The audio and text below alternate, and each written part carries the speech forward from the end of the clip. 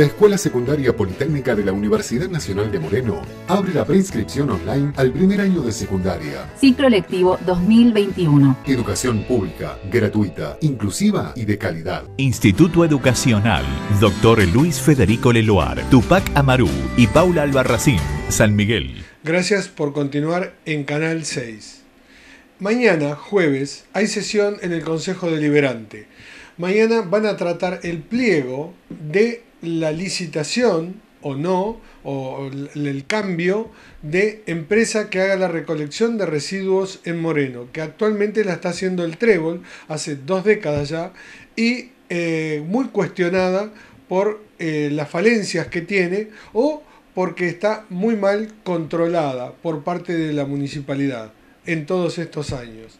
Esto lleva a que va a haber un cambio que se va a discutir mañana y el bloque de Juntos por el Cambio, justamente, que son ocho concejales en Moreno, hacen un llamado, hoy hicieron una conferencia de prensa, eh, esto lo convocó Pipi Nogueira, que es el presidente del radicalismo, eh, a esta conferencia de prensa de los concejales para explicar cuál es la postura que van a presentar mañana de los ocho concejales hay siete que están con esta posición porque hay uno, Mirko García, que ya anticipó la semana pasada justamente en un programa eh, Quórum, eh, que él va a votar a favor del pliego que presenta la intendente municipal, el oficialismo. Eh, estos otros concejales, siete de Juntos por el Cambio, están en una disyuntiva porque eh, esto ha sido presentado a último momento y según ellos no está bien hecha la presentación del dictamen en tiempo y forma. Esto habilitaría a que se trate eh, mañana con mayoría simple, cuando si no fuera así tendría que ser con dos tercios de los concejales, cosa que sería más costoso en conseguir ese número por parte del oficialismo. Lo que está en juego no se sabe bien porque no hay números claros, pero se calcula que el trébol cobra unos 900 millones de pesos por año eh, por la recolección de residuos. Y esta otra empresa tampoco hay unos números claros cuánto va a terminar costando al municipio esta cooperativa o esta municipalización cooperativa o, o pyme, no se sabe bien, eso se verá mañana. Juntos por el cambio, tiene dos disyuntivas. Mañana presentarse y discutir el tema en el Consejo Deliberante y por otra parte, que lo, aclararon, van a hacer una presentación a la justicia por la forma en que fue convocada eh, a esta sesión este tema que con un dictamen fuera de término que eso es lo que habilita el número. Se verá mañana, el viernes, cómo continúa esta situación. Lo dejamos con la conferencia de prensa donde habló principalmente eh, Claudia Acef, que es la presidenta del bloque de Juntos por el Cambio, Giselle Agostinelli, que es una concejal joven que muy impetuosa y siempre está eh, atrás de todos estos temas, y eh, Dolores Fábrega, que es del bloque del radicalismo. Lo dejamos con la conferencia completa.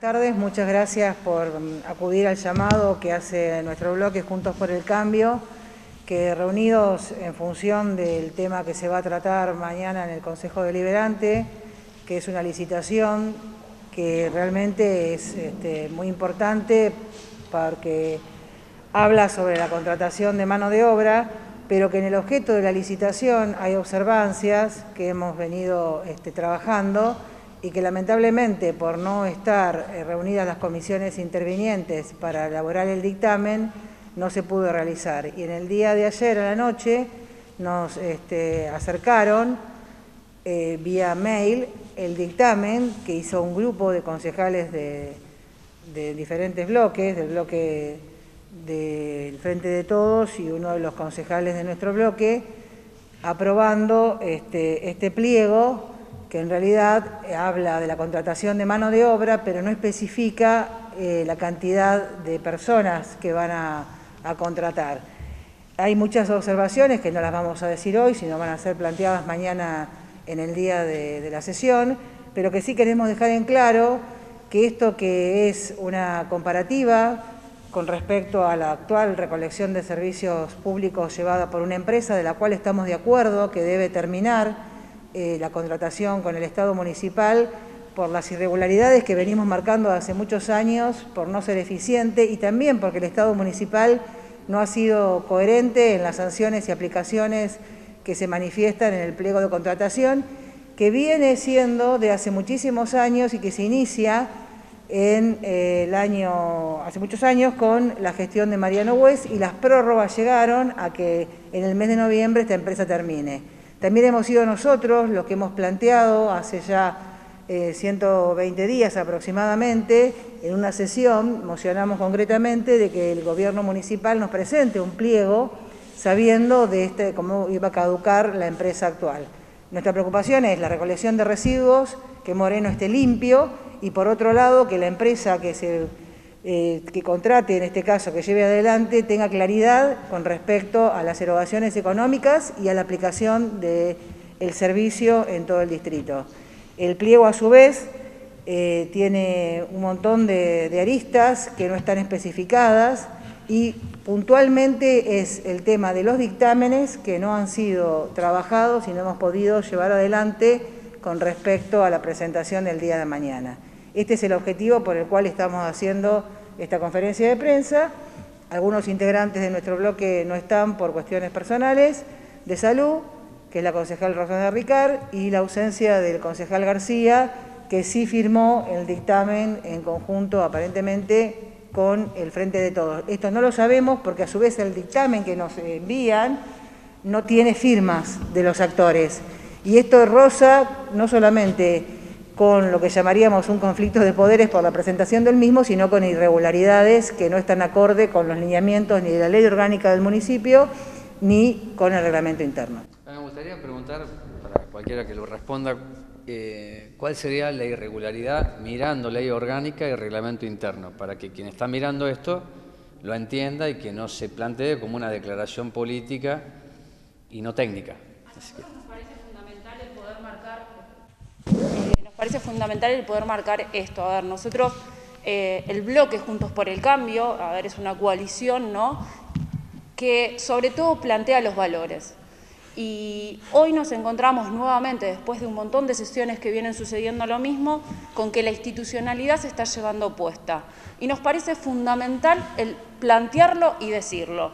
Acá nosotros nos encontramos con que no se respeta el reglamento interno, pero tampoco se, respeta la ley orgánica de las municipalidades.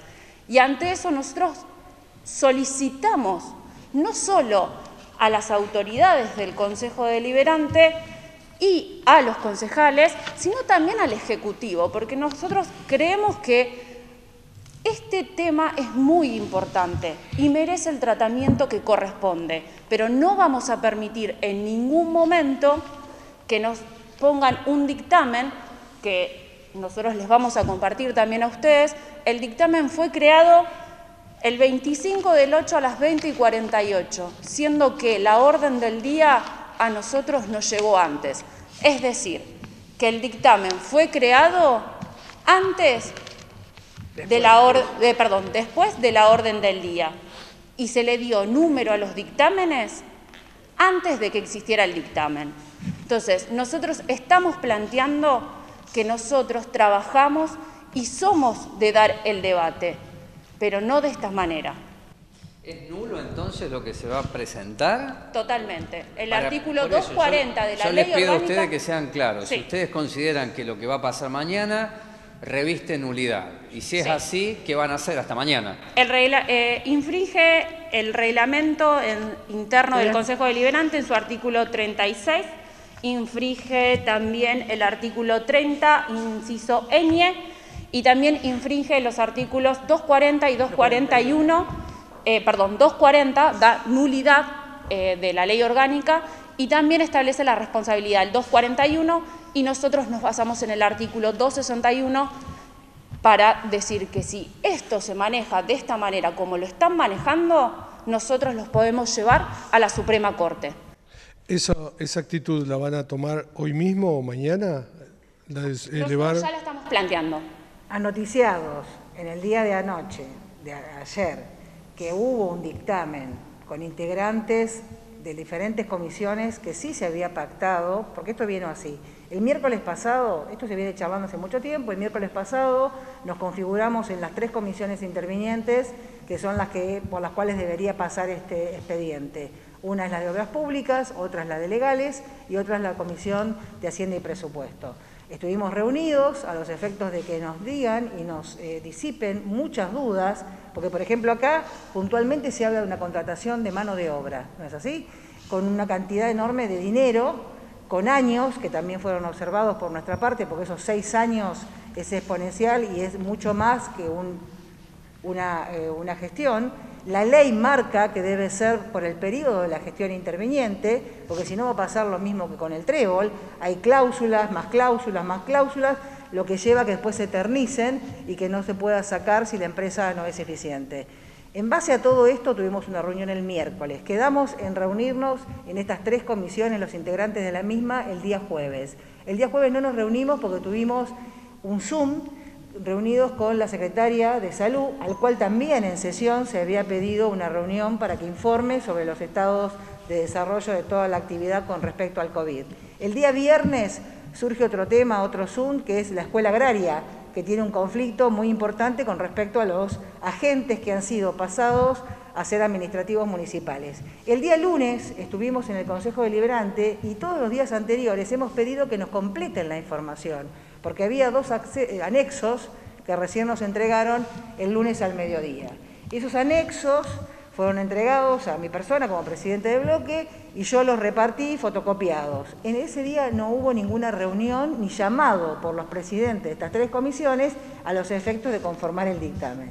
Y el día de ayer este, nos acercan esto y el día martes nadie convocó. Entonces, no puede haber dictámenes sueltos cuando no está la convocatoria efectuada por los presidentes de las comisiones como marca la ley y el reglamento. Y es por eso que ese dictamen que nos aparece anoche, después de entregada la orden del día, es eh, irregular, es extemporáneo y eso es lo que estamos marcando. El debate, el expediente se podía haber puesto en la orden del día sin dictaminar y eso modificaba las manos con respecto a la votación, que es algo que la gente tiene que saber. Cuando un expediente no tiene dictamen de las comisiones intervinientes, tiene que tener votado el día que se trata por, la, por un tercio del cuerpo, o sea, por 16 concejales sería en este caso, ¿no es cierto? Por dos tercios, perdón. Si entraba con dictamen como entró irregularmente, la votación se puede llevar adelante con la mayoría simple.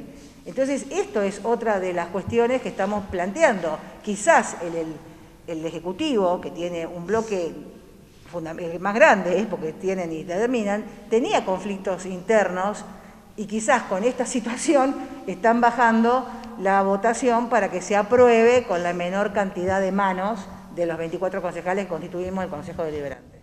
Después de esta actitud política de ustedes de llamar a esta conferencia de prensa, ¿qué van a hacer eh, mañana? ¿Van a eh, prestar quórum? ¿No? Eh, sí, sí, vamos a ir al recinto, estamos preparados para hacer todas las observaciones correspondientes porque las venimos haciendo hace mucho tiempo.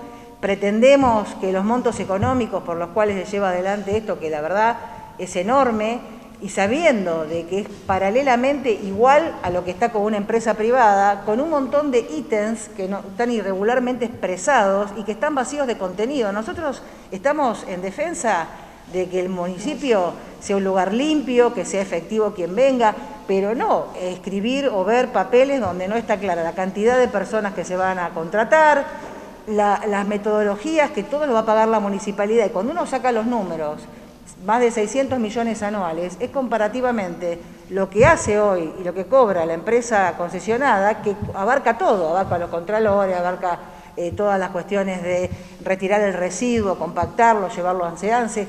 Todo esto está fuera de esta discusión. Acá solamente se está contratando a gente, que no sabemos cuántas personas son.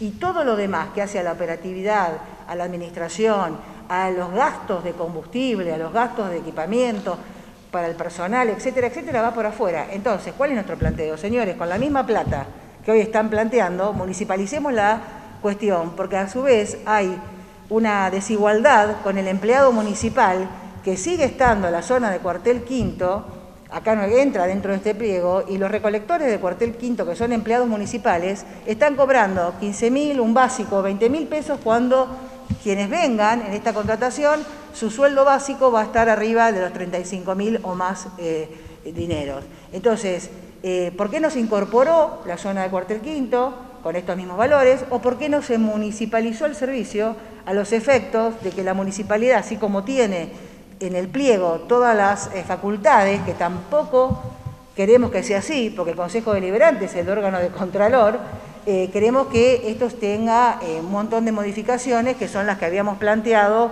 para presentar en las comisiones que expliqué anteriormente. el objeto de la conferencia de prensa tiene que ver con lo técnico administrativo y supongo que mañana ustedes van a ir. Me lleva a preguntar si esto se puede encuadrar en una figura que la podemos discutir de falsedad ideológica. Si entran al recinto, ¿no están avalando esa figura para el debate? Lo hemos discutido, lo hemos discutido esto. A sí, lo que pasa es que ellos Ellos tienen quórum propio. Ellos te llevan por delante con las manos. Pero esta forma de trabajar a mí me hace acordar a lo que decía el doctor Raúl Alfonsín. Él decía que uno se puede poner a discutir con un marxista o se puede poner a discutir con alguien de extrema derecha, pero con un populista no se puede, porque el populista siempre va a contestar con voluntarismo con mentiras. Y entonces nunca vamos a llegar a una solución. Y esta situación es la que estamos planteando. Siempre es el populismo, el voluntarismo, le quieren hacer creer al pueblo de Moreno que es para beneficiarlos y en realidad nos va a tapar la basura. Si es así, entonces, ¿de qué vale ir a discutir mañana? Y justamente porque tenemos que hacer escuchar nuestras voces porque inclusive también es importante marcar que existen otras cuestiones que están dentro del pliego que no fueron consideradas porque el debate no se llegó a terminar. En ningún momento se llegó a debatir en sí el pliego y cada uno de los artículos. Hay artículos que se contradicen, hay artículos que violan normas, entonces es fundamental también poder plantear eso para no dejar un pliego que después termina pasando lo que pasó con el trébol, cuando después se justifican diciendo que hay cosas que no las pueden hacer porque el pliego es limitante, si nosotros hoy no vamos y nos sentamos y damos esa discusión en el recinto, también estamos permitiendo que mañana nos sigan utilizando. Entonces nos parece fundamental apelar a la coherencia para qué?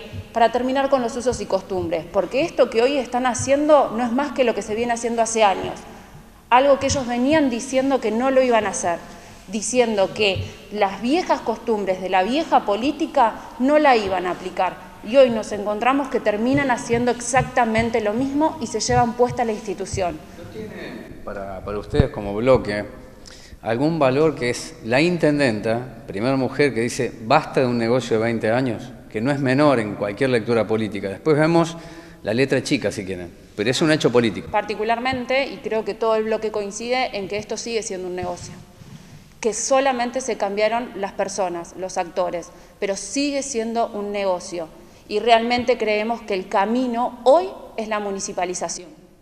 Para que la gente entienda eh, si es un negocio, de qué números estamos hablando eh, anualmente, lo que cuesta la recolección de residuos hoy y lo que costaría con esta nueva empresa.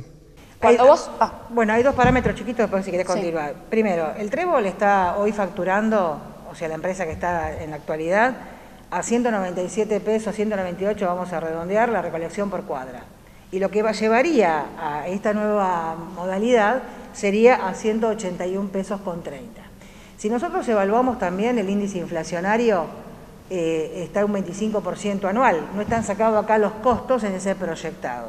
Segundo punto, con respecto al monto en general, por seis años, ahora que están hablando lo que nosotros pedimos que sea por cuatro, se achica con la misma cantidad de dinero. Pero hay un montón de gastos que los va a absorber la municipalidad y que llevaría el mismo monto que hoy tiene que le está pagando una empresa concesionada. Entonces la pregunta es esta. Primero, no tenemos en claro cuántos agentes necesita el Estado municipal absorber y cuánto es la cantidad. Después habla de un montón de ítems, como son, como dije antes, el combustible, el mantenimiento, todo el sistema satelital de GPS que lo va a pagar todo el Estado municipal, o sea, lo van a pagar los vecinos. Se aumentara la frecuencia, que eso está muy bueno, en cambio de ser unas frecuencias acotadas como estaban, se aumentaría a seis días de la semana. Pero en las especificaciones técnicas del pliego hay un montón de vicios y de nichos que tiene facultades exponenciales el Ejecutivo para hacer de estas contrataciones supuestas un montón de subcontrataciones. Y eso es lo que nosotros también observamos y no queremos darle esa facultad a la intendente, porque si bien se tomó una decisión de terminar con esto, porque justo le llegó, también sabemos que cometió un error, que fue el tiempo en que dilató desde que ganó, desde octubre a la fecha, sabiendo que caducaba la recolección. Y nos preocupa enormemente de que la ciudad quede vacía de la recolección. Entonces también damos coherentemente y participamos a efectos de que salga algo, pero bien realizado, no con supuestos. Este pliego da supuestos, que en derecho se ven, no con cuestiones exactas. Se habla de esto, de aquello, pero en concreto nos faltan un.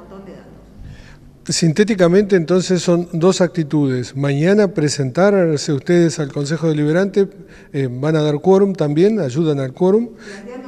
Sí. Y, la nulidad del dictamen, ¿ustedes la elevan a la Cámara o queda acá internamente en Moreno?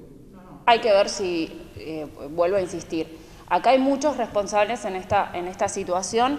Hoy a nosotros nos llega un dictamen sin firmas, pero la realidad es que cuando vos tenés la orden del día, hoy la, la, falta estaría, los responsables, los funcionarios, serían las autoridades del cuerpo hay que ver cómo se plantea en la sesión. A ver, yo sigo insistiendo, apelo a la conciencia de los concejales, de las autoridades y también apelo a la conciencia del Ejecutivo. A ver, eh, cuando nosotros planteamos la legalidad de lo que es el dictamen o cuando planteamos lo que Claudia recién comentaba, que es el pliego en sí y lo que significa el pliego, también planteamos el debate que no se está dando, lo que se está ocultando detrás de todo esto y que nosotros queremos plantear.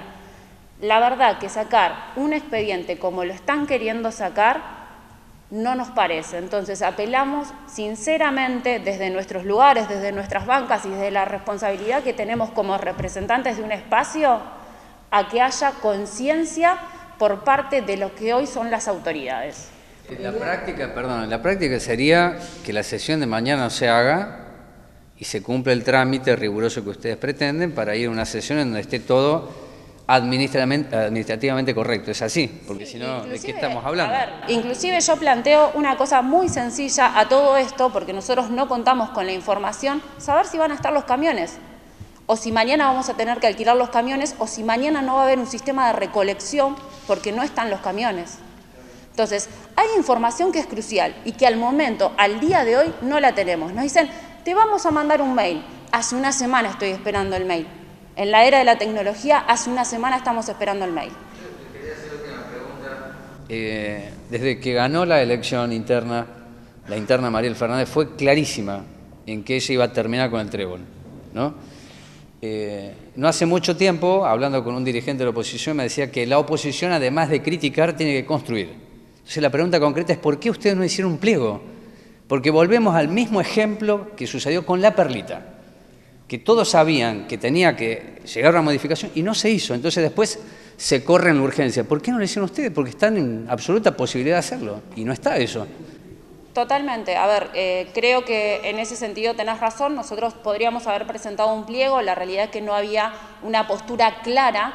Hoy yo te puedo decir que con el con lo que hoy nosotros nos encontramos, nosotros no creemos que, que tenga que haber un pliego. ¿Por qué? Porque hoy creemos que el mejor camino es la municipalización. Además, hace mucho ustedes pidieron.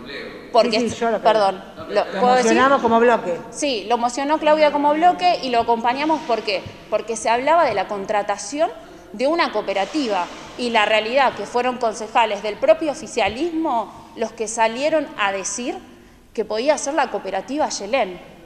Entonces, nosotros ante esas situaciones buscamos reguardar la institucionalidad.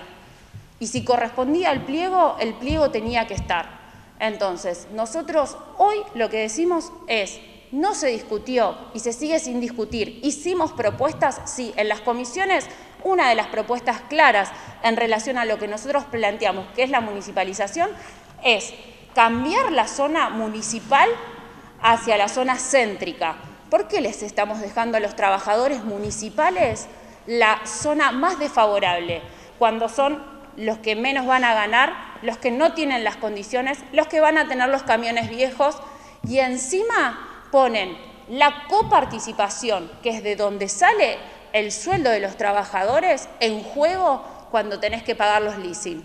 Entonces, ¿por qué? Nosotros pedimos, hablamos, planteamos, pero no hay respuestas.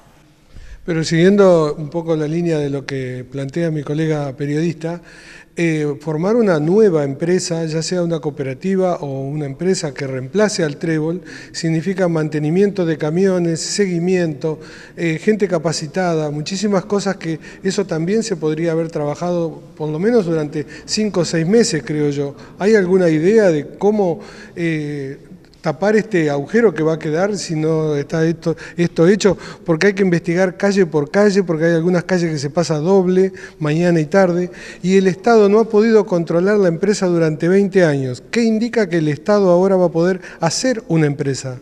Nosotros esperábamos que en esta presentación esos errores y vicios anteriores, de los cuales la actual gestión fue parte, porque también votó cuando fueron concejales la extensión de la empresa El Trébol y nosotros fuimos los únicos, el único bloque, y lo digo en lo personal, que nunca votamos nada con respecto a la empresa El Trébol por eh, ver que no había cumplido con eh, el servicio.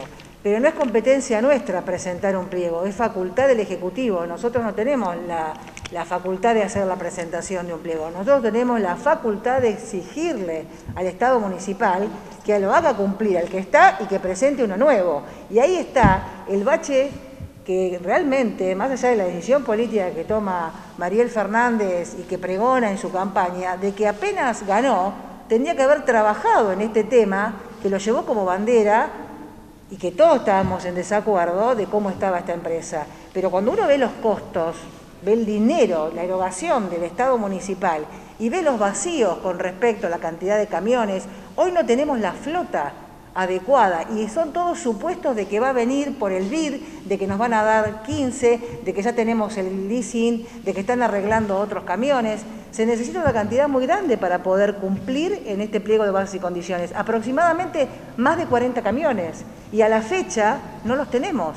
Entonces todas esas dudas, y por eso hicimos observancias muy puntuales para sacar las facultades exponenciales que tiene el, municipio, a su vez deriva la, la, administración a una subsecretaría, cuando en realidad el contralor lo tendría que llevar una secretaría, como es la de Obras y Servicios Públicos, y preguntémonos qué pasa con el resto de los servicios, cómo es tapar los pozos, cómo es todo lo que tiene que ver con juntar las ramas. Acá nada de esto está expresado o especificado. Acá se habla de contratar mano de obra con un montón de variables que todas pasan por el Estado municipal. Entonces, las responsabilidades enormes también son de nosotros, que como parte del Estado municipal, en este caso como bloque de oposición, quisimos llevar adelante y no pudimos por no tener las, este, comisiones configuradas. Hubo, quiero decir algo, por parte del presidente del bloque de, todos, de reunirnos, reunirnos con Farfán, reunirnos, pero les cuento, el anexo llegó el día lunes un anexo donde determina la zona, las calles y un montón de otras variables, porque esa documentación no se llevó antes, no se trajo antes y estaba, porque también creemos que hay una doble intencionalidad de subcontratar a cooperativas o a eh, la mano de obra informal, que esto también no está claro aquí. Bueno, una cosa, porque si no, en las modificaciones que por lo menos pude leer, del capítulo 50 se eliminó el inciso 2 que permitía la subcontratación, porque si el hecho es informar, lo hagamos correctamente. Claro, pero fijémonos, y Rubén, con todo respeto, de que vos que sos un periodista que estudia, tenés la información muchas veces antes que nosotros. Y de hecho eso no es un problema tuyo, sino es un problema que no se baja en tiempo y forma como corresponde. Hay que ver si está mañana. Cercano, cercano a una sesión tan importante como esta. Decimos que queremos eh, modificar, que queremos seguir este, aplicando nuestras observancias, porque algo hicimos y lo estamos trabajando, y queremos lo mejor para el distrito. Nosotros tenemos responsabilidades a las cuales no podemos eludir. Claro está que el dictamen que se hizo no corresponde y que hubo intenciones de reunirse, pero no conjuntamente con las comisiones. Yo no puedo reunirme sola con el presidente del bloque de esos y determinar, no. Somos un cuerpo de, colegiado y somos un bloque importante que también tenemos propuestas y tenemos miradas que harían entre todos lo mejor para la, para la municipalidad y obviamente Consultorios Médicos Roca, Avenida Roca 3652, Cruce Castelar. Viena es todo para tu fiesta. Avenida Libertador 7407. Y ahora también en la esquina de Cervantes y Gutiérrez, Cruce Castelar.